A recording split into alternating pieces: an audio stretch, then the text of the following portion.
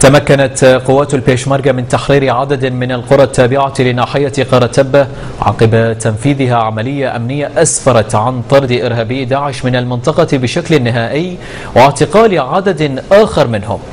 أوضح مصدر في قوات البيشمركة المرابطة في ناحية قرتبة أن قوات البيشمركة نفذت عملية أمنية في عدد من القرى بمنطقة نارين التابعة لناحية قرتبة مشيرا إلى أن العملية أسفرت عن تدمير العديد من أوكار عصابات داعش الإرهابية وتحرير عدد من القرى في المنطقة بالكامل من الإرهابيين. على صعيد ذي صلة رفعت قوات البيشمركة علم كردستان في قرية تابعة لناحية قرتبة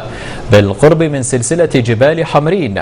بعد أن طردت إرهابي داعش منها. وقال رئيس المجلس البلدي لناحية قرتبة أن قوات البيشمركة سيطرت على قرية عمر مندان التابعة لناحية قرتبة بالقرب من سلسلة جبال حمرين ورفعت علم كردستان فوقها بعد طرد الإرهابيين منها. وأشار إلى أن الوضع الأمني في ناحية قرتبة هادئ وأن جميع القرى أصبحت الآن تحت سيطرة قوات البيشمركة مع عودة الحياة الطبيعية للأهالي وثقتهم العالية بقوات البيشمركة